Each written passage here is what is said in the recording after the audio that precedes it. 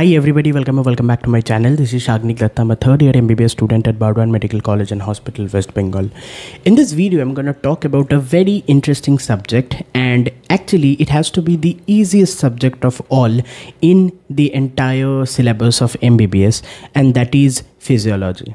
Physiology is usually being taught in your first year of MBBS and the reason it being the easiest of all subjects is because we can relate to this subject very well. Mostly, it is in parallel to the syllabus that we have read for biology during our NEET preparations.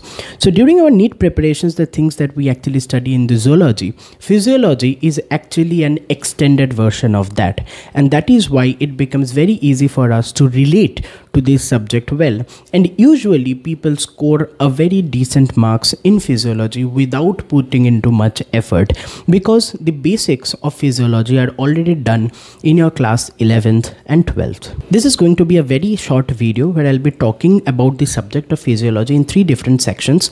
In section 1, I'll be talking about the different resources that you can use for the subject of physiology. Number 2, I'll be talking about the different topics and important topics that you should refer to for physiology and how should you actually deal with them and number 3 I'll be talking about the aspect of solving questions for the subject of physiology now without much ado let us get into the video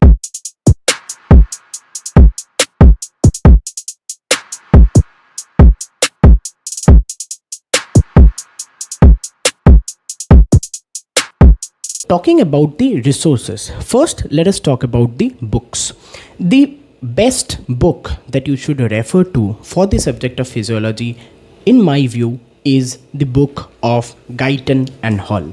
This book is not so hefty, the language is crisp and written in details. You can read these books line by line for every chapter and you will have a grip over the subject of physiology. This is an international edition book and this has got every information that you shall need for the subject of physiology and that's pretty much it for physiology. Now apart from this book there are two or three other books that you can refer to. Another international standard book is the book of Ganong.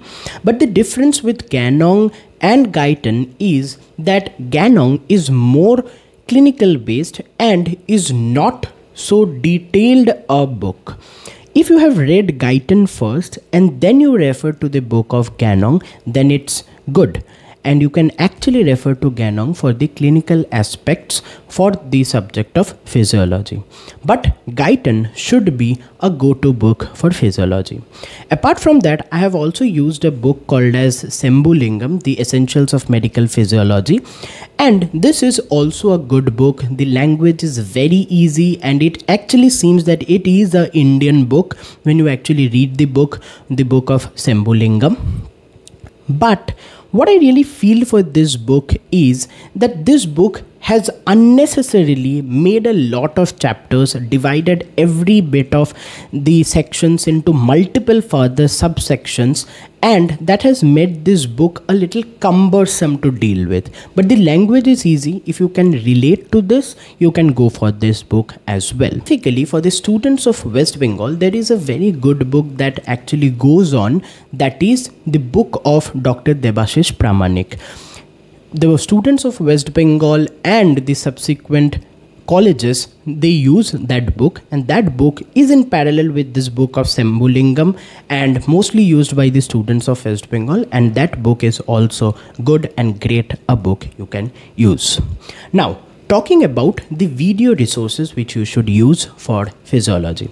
Now, I do not have a direct suggestion for the subject of physiology which you can use or not.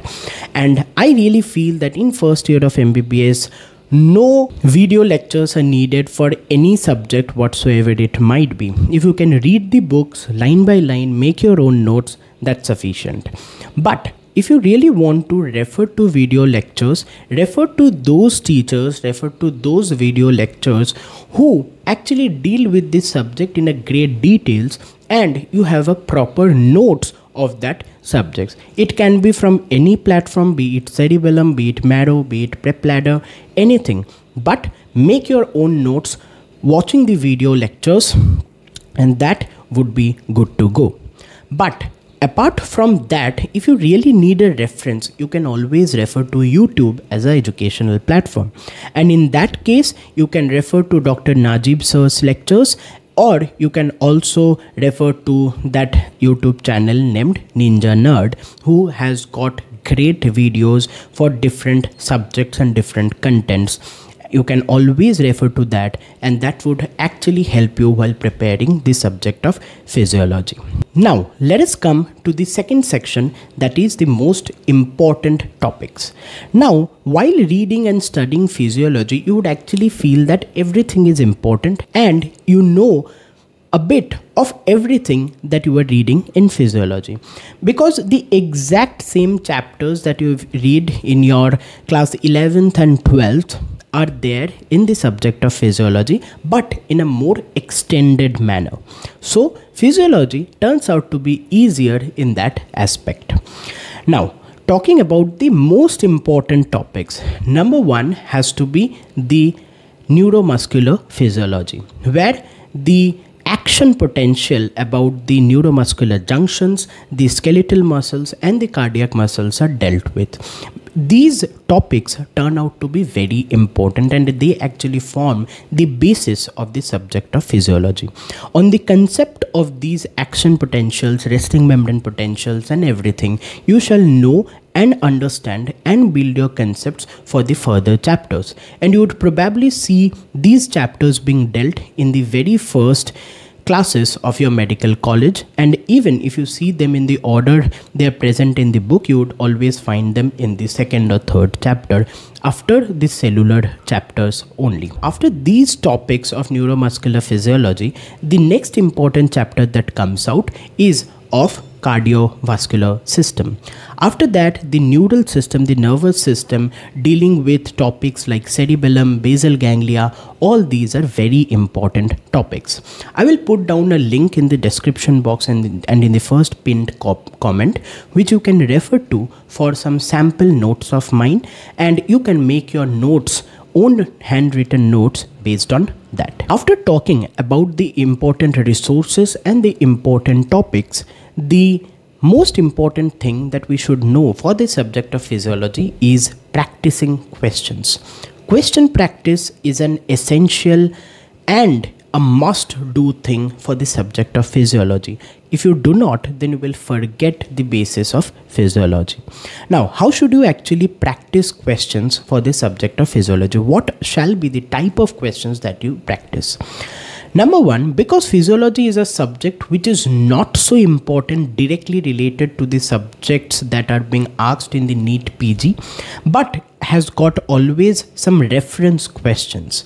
So you should actually target your university exams first for the subject of physiology and then refer to the multiple choice questions. So what shall you first do is you take out the 10 year questions for your university and solve them and mark them in the book and revise them multiple times so that you have got a good grab over the subject. Now, after you have done that, you can always move towards solving MCQs. If you are enrolled into any institutes, solve their question banks. If not, then collect some past 10 year questions of NEET PG which are related to the subject of physiology, then you can solve them. In the description box, I will give a link of the important topics which you should actually practice as a question, long answer questions, and refer to them for your university exams and you can go and download it from the description box below. So with that, I come to an end of this video. If you really like this video, hit the like button, subscribe to the channel and share this video with whomever might find it helpful as well. Thank you. See you in the next one.